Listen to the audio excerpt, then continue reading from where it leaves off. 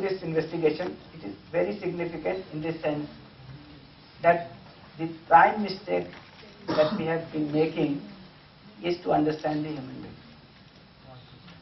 We have not understood the human being properly. We have not understood ourselves properly.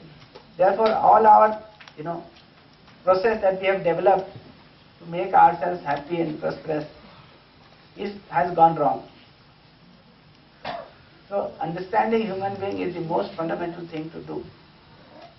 And that is what I, we have proposed in this last two sessions. So, look into them, you know, look at them you know, very rigorously, find out whether these statements are true or you not true for you. Then what we will do, once this is clear, is to start delving little deeper into the self.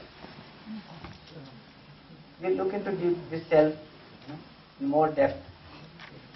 Till now we were not even aware that the self is there.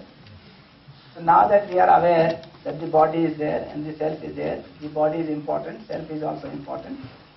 Right?